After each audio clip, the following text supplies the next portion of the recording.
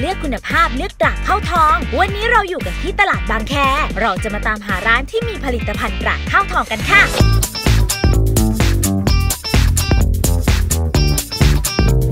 นี่เลยค่ะ เจอแล้วร้านพี่กลอย มาดูกันค่ะ ว่าสินค้าที่ขายดีที่สุดคืออะไร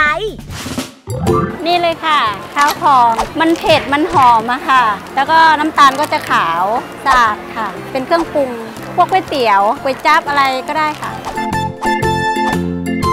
รอยากได้พริกเผ็ดๆมีคุณภาพนะคะ มาเชิญซื้อที่ร้านพี่กอยได้นะคะ ที่ตลาดบางแคหลังห้างวันเดอร์ค่ะ อย่าลืมนะคะ เลือกคุณค่าเลือกคุณภาพ เลือกตราเข้าทอง สดสะอาด